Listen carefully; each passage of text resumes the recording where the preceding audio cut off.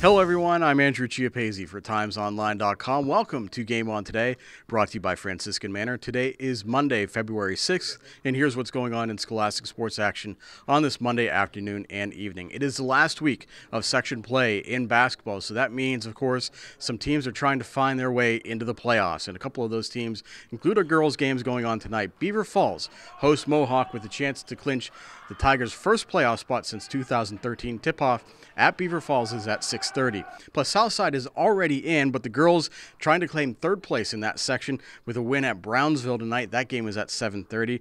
Plus, Riverside hosts Neshannock. The Panthers already in the playoffs, and Blackhawk is at Central Valley in a game between two playoff teams in 4A. Score, stats, and more tonight on TimesOnline.com in tomorrow's edition of the Beaver County Times.